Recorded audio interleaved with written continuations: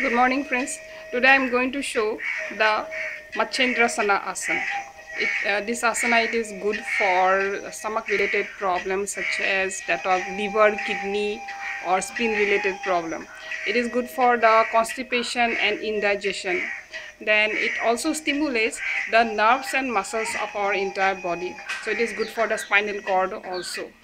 It is good for asthmatic uh, troubles, then infertility problem or menstrual discomfort.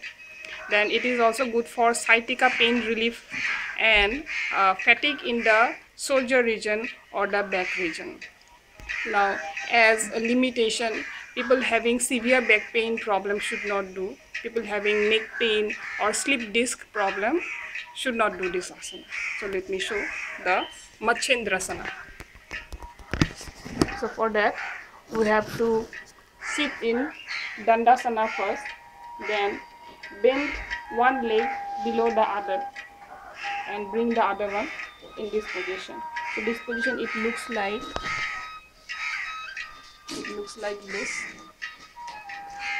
And after that after we can come to this position then we can turn one hand towards the navel region and with the other hand hold the toes and bend towards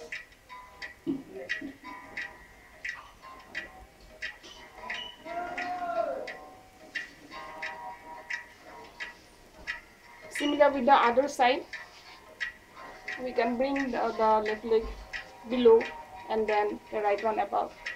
And then hold in this position and turn towards this side remain in this position for few seconds about 5 to 10 seconds.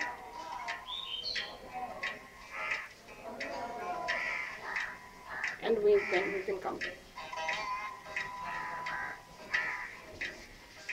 So we can do this asana with all those benefits. Thank you for watching this video